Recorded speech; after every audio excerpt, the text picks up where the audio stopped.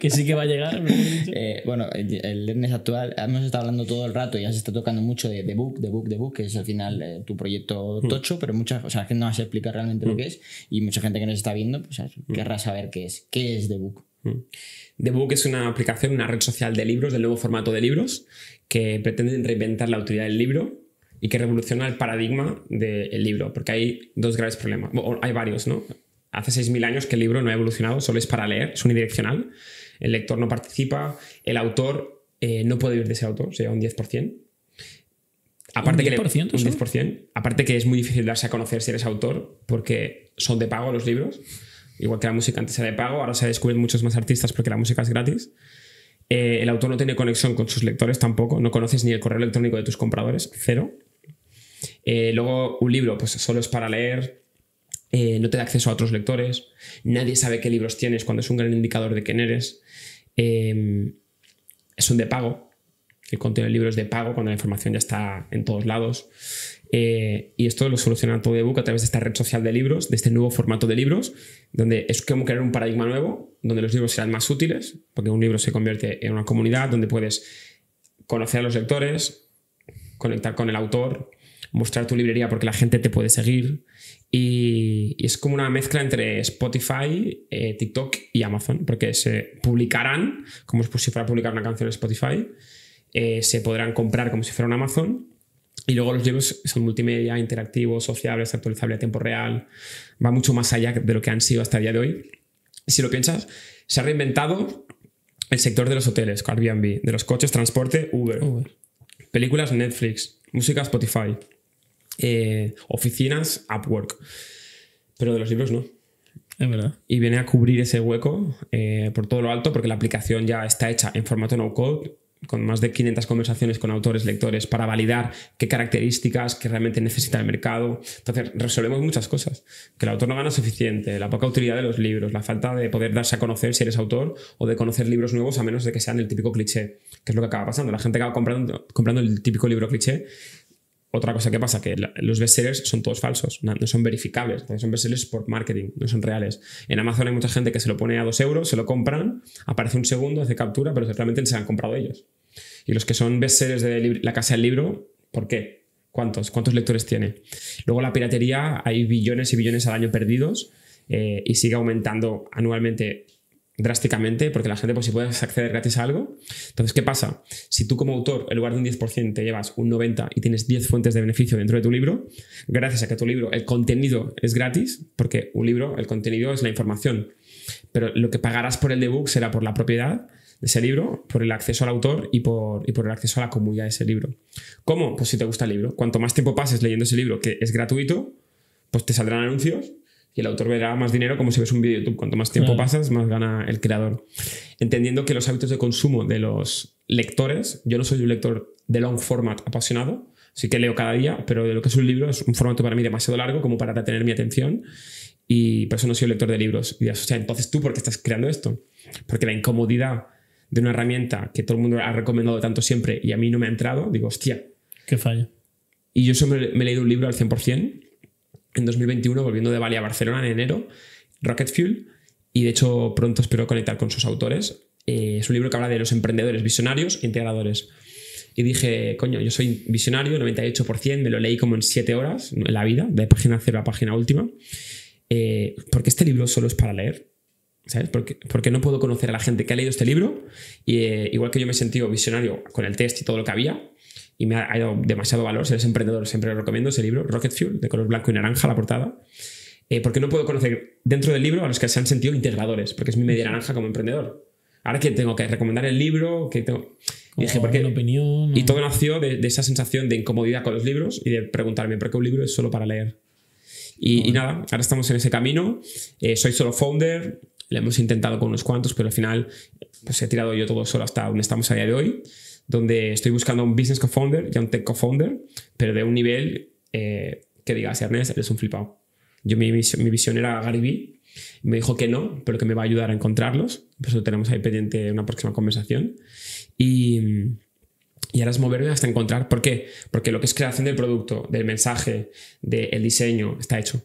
De la validación de mercado, de la, hecho. Ahora que falta la, fa- la fase de estructura empresarial y la fase de estructura tecnológica. ¿Cómo? Con equipo. El equipo que yo puedo traer está limitado a quien yo tengo acceso. Entonces, es, me quedo pequeño para el potencial de esta visión si realmente quiero ir rápido. Entonces, sé que si de entrada tomo más tiempo para decidir con quién casarme, será más lento al principio, pero ya una vez estén, como ya está hecha la aplicación de no code para hacerlo a code, o alcohol sin alcohol, alcohol, o, o jabón sin jabón, o sea, es, Sí, estamos en bien. no code, para pasarlo a code es copiar y pegar, pero con, otro, con React Native, con otro programa. Pero lleva un dinero, un tiempo, unos, unos equipos, un liderazgo que yo...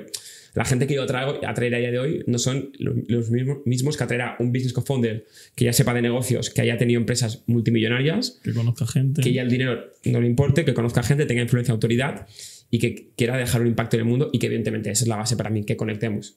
¿Sabes? Claro. Que, que conectemos a nivel humano. La mayoría de proyectos fracasan por la mala relación entre sus fundadores. Vuestro éxito de podcast será gracias a vuestro buen rollo. No sé, yo te, eso lo puedo a. 100%. 100%, sí. Ahí- Que, que bueno, te voy a preguntar. Pero una pregunta, si un día ¿quién se queda el podcast? Bueno, Ah, eso, que es legal. ¿Te imaginas? Que- legales, está al 50%. Exactamente, está todo, está todo escrito bien. A mí siempre me gusta también dejarlo. Creo que es muy difícil. Creo que es muy difícil que eso pase. Sí, si se acaba en algún futuro, acabará, pues. Antes se acaba el podcast que nuestra relación, ¿sí o no? No, es que creo que es. Sí, hombre. Sí. Creo ¿Sois que- amigos, no? Sí, ¿Hace años? sí. No, No. ¿Ah, no? que nuestra Es que- historia es es que muy, esa historia es muy graciosa, la verdad. Pero sí que es cierto que no creo que, por ejemplo, si se acabase en algún futuro, porque no funcionase o porque tal, acabásemos mal o. No, creo que eso ocurriese. Que puede pasar, ¿eh? porque luego la vida es súper aleatoria, como hemos dicho, pero. Pero es difícil. Además, los dos somos bastante sinceros, nos decimos las cosas. Sí, es una relación muy sana, la O sea, verdad. si algo me molesta o si algo le molesta a él, nos lo decimos y a veces Pero me dices, parece, me parece vital lo que has dicho. Si no congenias con la persona o más o menos mm, que te apoye igual en tu proyecto que le pongáis las mismas ganas o qué tal, se nota que, que eso va a salir más. Un, un amigo eh, que me ha enseñado lo que es un amigo. O sea, hay muchos tipos de amigos. Pero un amigo, amigo, amigo de estos que dices, es un viajero conmigo de vida, un compañero. Eh, me dijo, para mí, un amigo es que si estás encerrado en una habitación con alguien y tienes un millón de euros, que es tuyo, y por la mañana desaparece ese millón, tú cuando te levantas, en lugar de pensar, ¿por qué me has robado? Piensas, ¿a mí los extraterrestres? ¿Sabes? Eso es un amigo. Sí, cuando, cuando sientes sí. ese nivel de confianza en alguien y de comunicación y tal, que eh, pues llegas hasta a pensar, ¿qué a mí los extraterrestres? ¿Por qué no está este millón?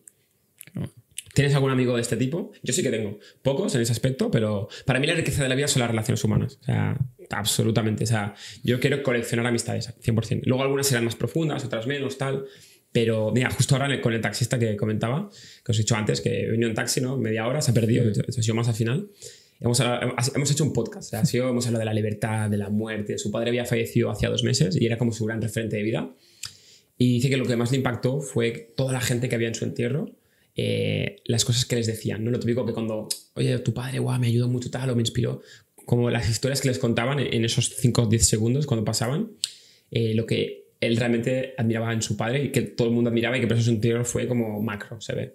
Y se ve que es un hombre que murió con 79, 79 años, que a pesar de tener un problema en el corazón, él quería planificar una vuelta al mundo con su familia. O sea, murió con 80 años, pero murió siendo muy joven, porque quería realmente hacer muchas cosas todavía. Y para mí ahí está la clave, el morir queriendo hacer muchas cosas. Que no has podido, si es que hay otras vidas, no lo sé, yo ahí no me mojo, no, no tengo ni idea, pero, pero morirte con ganas de, ¿no? Como- y me, me ha inspirado ilusión, mucho claro, de la que hablábamos antes, con esa ilusión y con ese propósito todavía de seguir. Con sueños, tío. O sea, los sueños te mantienen vivo, Sueños. despierto. Total. Te iba a preguntar, eh, habéis dicho antes que Gary te había dicho que no. O, o- te iba a preguntar por curiosidad si lo quieres Sí. comentar o no. Si no, pues esto se puede eh, obviar. Eh, por, ¿Te dio algún motivo en plan? En Ah, me dijo, no tengo tiempo ni para mis negocios. Me dijo, I don't wanna bullshit you.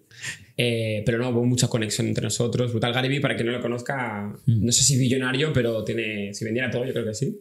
Pero tiene, más allá de eso, es un emprendedor que ha fundado muchas empresas, también de muchos millones, pero es un ser humano que comparte mucho su mensaje de valores, que comparte más que ningún otro emprendedor todo su mejor contenido gratuito, nunca ha vendido ninguna formación. Él es un pure un empresario puro y duro, tiene una empresa de más de 2.000 empleados, una agencia que trabajan para el SP500 y tiene más de 40 millones de seguidores en todas las redes. Es como el promotor número uno de que es importante crear una marca personal en esta vida. Él empezó en 2006 con YouTube, justo cuando empezó YouTube, hacer un vídeo diario. Y bueno, para mí es un gran referente y por eso también pues, eh, él me inspiró en cierto modo a, cre- a crear The Book. y, y por eso mi, mi ilusión era que fuera él. Pero de nuevo, haya aprendido que los objetivos no están hechos para ser cumplidos.